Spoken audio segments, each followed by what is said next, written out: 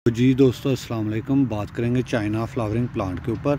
ये जी देखा जाए तो ये बिल्कुल गोभी के पत्तों जैसे इसके पत्ते हैं और ये बहुत ही प्यारा और ख़ूबसूरत प्लांट है।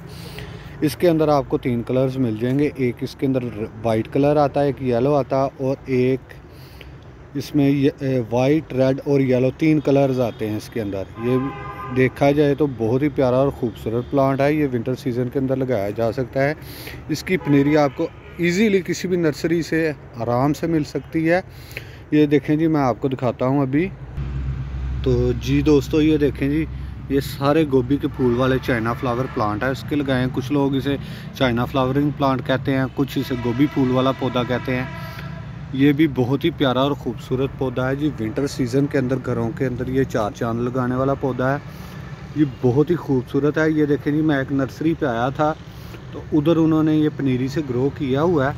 ये देखें, इसके अंदर कलर्स की शेड से आप हिसाब लगा लें जी। ये देखें, ये एक कलर है और इसका ये दूसरा रंग है। पत्तों में भी आपको डिफरेंस नज़र आएगा।